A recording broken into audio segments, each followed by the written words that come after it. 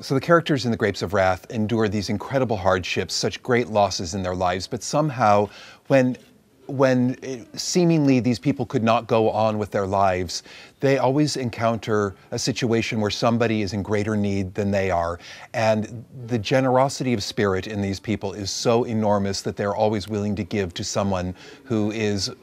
less well off than they are. And I think that's a very important lesson in this time where it's it's uh, we're in a time where I think people think about themselves and their own needs much more than the community as a whole.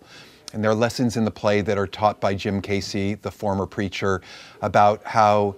we are all holy when we are harnessed to the whole shebang, as he says, when we realize that the Holy Spirit is the human spirit and we're all part of one big soul. There's a kind of generosity